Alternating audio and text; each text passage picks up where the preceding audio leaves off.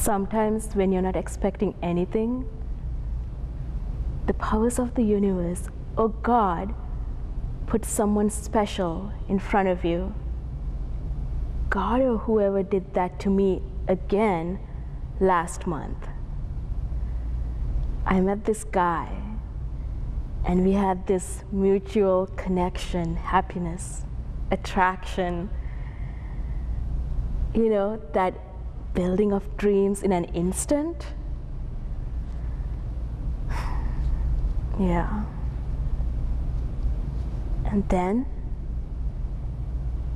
God just takes him away in a second or like five days. You find out that the guy is involved, or he's busy, or he just goes away. Why would God put someone special in front of me, in my path, and show all the wonderful possibility just to take him away? Like poof